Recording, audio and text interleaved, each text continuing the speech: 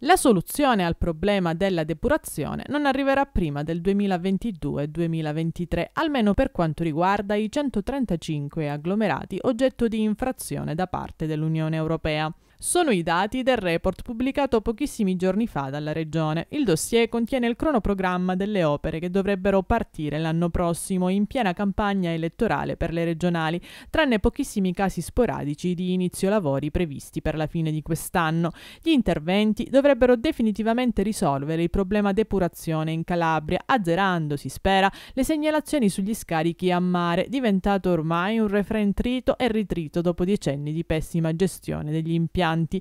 Inutile sperare di poter dribblare la multa che l'Europa ha comminato all'Italia per metterci in regola anche con quelle amministrazioni in potenziale procedura di infrazione ci vorrà tantissimo tempo, segno che esiste un problema infrastrutturale molto grande in Calabria sul settore depurativo.